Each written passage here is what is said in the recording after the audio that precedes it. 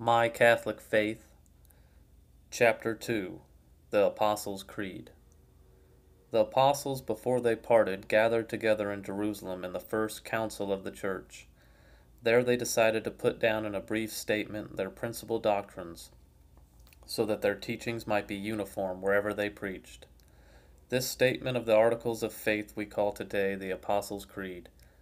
It was formulated in order to put into fruition the command of our Lord Go therefore and make disciples of all nations, teaching them to observe all that I have commanded you, and behold, I am with you all days. Matthew 28, verses 19 through 20. Where do we find the chief truths taught by Jesus Christ through the Catholic Church? We find the chief truths taught by Jesus Christ through the Catholic Church in the Apostles' Creed. A creed is a summary or statement of what one believes. Creed comes from the Latin credo, which means I believe. That is, I accept or hold true something on the word of another. I believe, with relation to the Apostles' Creed, means that I firmly assent to everything contained in it. I believe it exactly as if I had seen those truths with my own eyes. I believe it on the authority or word of God, who cannot deceive or be deceived. 2. The Apostles' Creed is so called because it is com- was composed by the apostles and contains a summary of the principal truths they taught. The Apostles' Creed is repeated at baptism as a declaration of faith.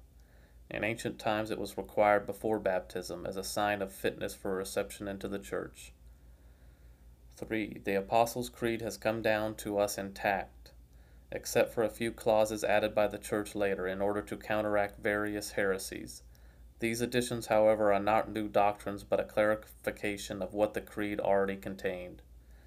Thus, the words Creator of heaven and earth were added to counteract the Manichaean heresy that the world was created by the principle of evil, and the word Catholic was added to distinguish the true church from true churches springing up around it. As our Lord said, and you also bear witness because from the beginning you are with me. John 15:27. 3. There are several other creeds used by the Church in substance identical with the Apostles' Creed. The Nicene Creed, which is said in the Mass, was mainly drawn up at the Council of Nicaea in the year 325.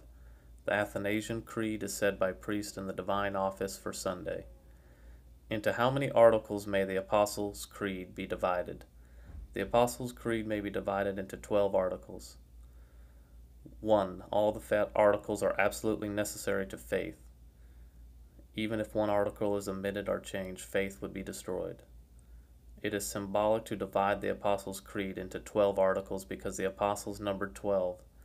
Thus, we are reminded that the Creed comes to us and was taught by the Apostles of our Lord. The following are, are the articles 1. I believe in God the Father Almighty, creator of heaven and earth. 2. And in Jesus Christ, his only Son, our Lord. 3. Who was conceived by the Holy Ghost, born of the Virgin Mary.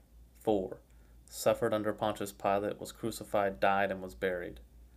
5. He descended into hell. The third day he rose again from the dead. 6. He ascended into heaven, sitteth at the right hand of God the Father Almighty. 7. From thence he shall come to judge the living and the dead. 8. I believe in the Holy Ghost. 9. The Holy Catholic Church, the communion of saints. 10. The forgiveness of sins. 11. The resurrection of the body. 12. And life everlasting. Amen. The twelve articles of the Apostles' Creed contain the mystery of the Blessed Trinity, one God in three distinct divine persons, Father, Son, and Holy Ghost, with the particular operations attributed to each person. The Creed contains three distinct parts.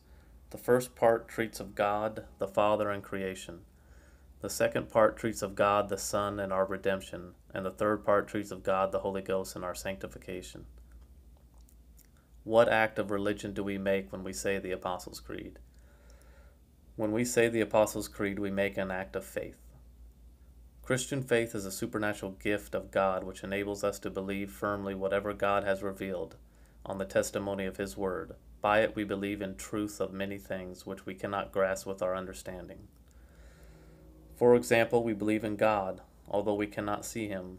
We believe in the Trinity, although it is beyond our understanding. Without faith, it is impossible to please God. Faith does not require us to believe in anything contrary to reason. When we believe that what we cannot perceive or understand, we act according to reason, which tells us that God cannot err, lie, or deceive us. That we therefore put our trust in God's Word. In many natural things, we often believe what we do not see, as sound waves and atoms, on the testimony of scientists who have studied them. Thus we act within reason. But how much more reasonable is it, it is to believe on the Word of God? A great reward in heaven awaits those who suffer persecution or die for the faith or some Christian virtue. The number of martyrs who have died for the Catholic faith is estimated at more than 16 million. All the apostles suffered persecution, and all except St. John suffered death by martyrdom for their faith. St. John the Baptist was beheaded because he censured Herod for violating the law of marriage. St. John Nepomucene was put to death because he refused to violate the seal of confession. Therefore, everyone who acknowledges me before men, I also will acknowledge him before my Father in heaven. Matthew 10:32. Neglect of the study of the truths of our religion is frequently the cause of lukewarmness, a bad life, and final apostasy and impenitence. We should be zealous in studying the Christian doctrine, in the catechism and religious and religion lessons, in sermons, missions, and retreats. If we have any doubt, we should consult our priest. God will not forgive ignorance if we voluntarily neglect the means he has granted to dissipate it.